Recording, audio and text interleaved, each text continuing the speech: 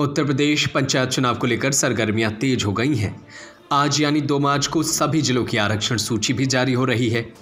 इसके लिए जनता और संभावित प्रत्याशियों में उत्साह देखने को मिल रहा है।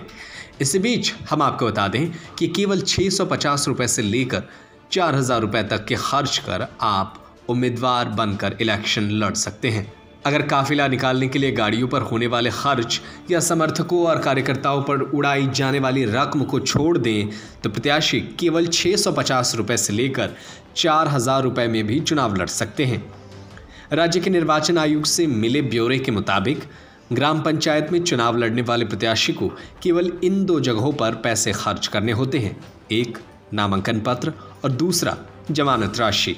आपको बता दें कि निर्वाचन आयोग ने सभी पदों के प्रत्याशियों के लिए खर्च सीमा पहले ही तय कर रखी है।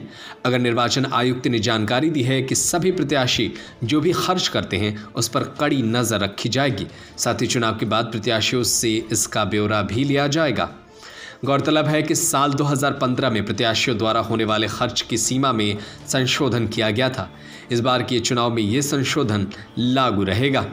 इसके अलावा प्रत्याशियों को नामांकन दाखिल करते समय अपनी संपत्ति के ब्यौरे के साथ आपराधिक पृष्ठभूमि हाउस टैक्स और अलग से किसी भी तरह की बकायदारी का विवरण भी देना होगा। बताया जा रहा है कि ग्राम पंचायत, क्षेत्र पंचायत और जिला पंचायत सदस्य के पद पर खड़े होने वाले प्रत्याशियों को नामांकन के समय कोई शपथ पत्र नहीं देना होगा, बल्कि प्रत्याशी इन सभी सूचनाओं की खुद ही घोषणा करेंगे। ब्यूरो रिपोर्ट, खबरें अभी तक। Subscribe to our YouTube channel and press the bell icon to get the latest updates.